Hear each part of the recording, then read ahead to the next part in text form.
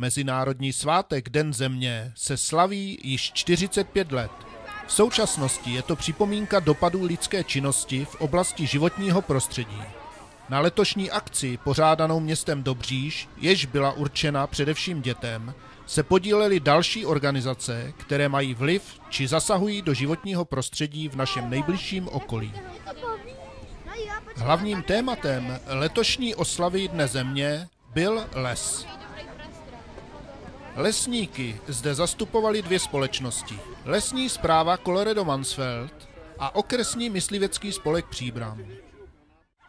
A vlastně to, že vy tady dneska jste a posloucháte mě, tak to by mělo i přispět k tomu, že se to tak už nebude nikdy v budoucnu stávat, že, že pochopíte, že takhle se to dělat nemá. Že vy už to víte teďko, že co s tím uděláte. A já tady jsem chtěl jenom, abyste viděli jednu věc, že když tady nějak ten pán, ten, ten dělník stoupil tenhle sporazí, tak následně se stane jedna věc, že my tu mítinu, která tam taky zalesníme, nenecháme ji volnou, zasázíme tam tolik stromečků, aby vlastně nahradili to, co my z toho lesa odvezeme. Hádej, hádej, hádači. Ano, není to teda náš bažant, je to bažant království.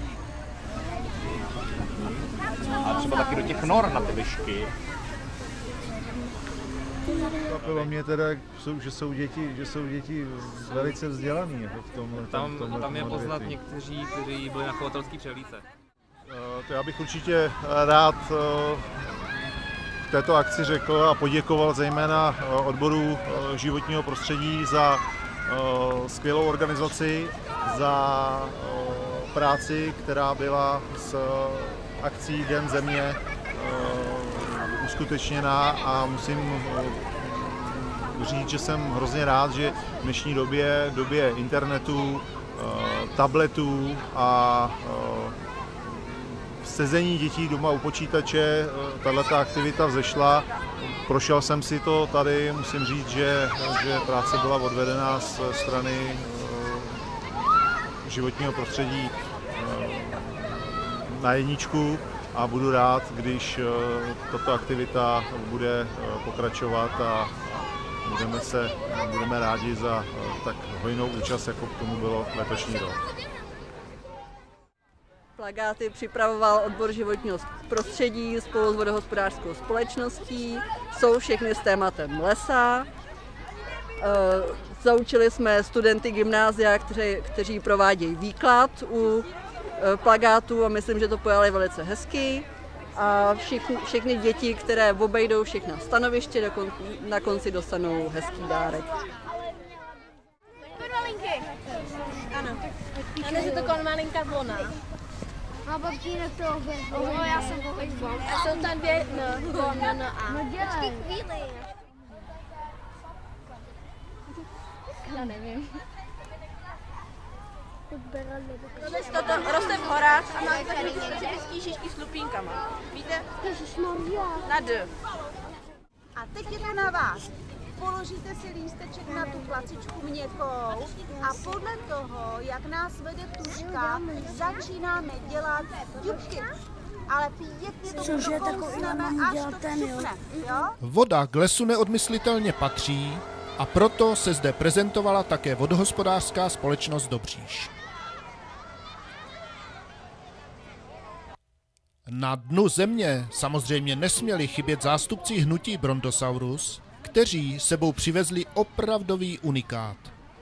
Je to, je to historická, je to první zástava Dne země v Československu z roku 90, kdy se pořádal první den země v Československu. Eh, My hledáme, kam ho umístit, protože eh, v tom roce 90 bylo v Československu málo ekologických organizací a ty lidi se rozešli a mají spoustu organizací jiných a teď každý by to chtěl a hledáme proto důstojné místo. A když ještě teda můžu o tom dní země, tak mě mrzí, že u nás se to zvrhlo v uklízení a jeden země je diskuzní, aby se lidi setkávali s politiky, s podnikateli a bavili se o tom, jak se to zlepší, co je, eh, co je špatně, co, s čím oni můžou pomoct a tak dále. Prostě je to o zlepšení prostředí, o zájemné diskuzi. A eh, bohužel se to tady u nás vrhává v to, jenom v tom klízení. Také oddíl sportu v přírodě OK Dobříž zde představil svou činnost. Vždyť orientační běh do lesa přece patří.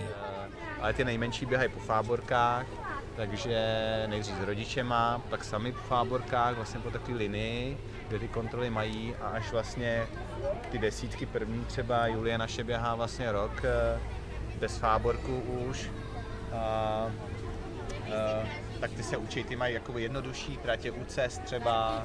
A pak vlastně čím jsou starší, tak se to, tak se to vlastně zhoršuje v uvozovkách a je to těžší a těžší a ty nejstarší my teď jdeme vlastně, vlastně zítra jdeme na mistrovství republiky v nočním orientačním běhu a to je v podstatě stejná trať, eh, ale vlastně se to celý běh odehrává v noci. Jako no. A u sportu ještě zůstaneme. Ti odvážnější se podívali na ostatní pěkně z hora.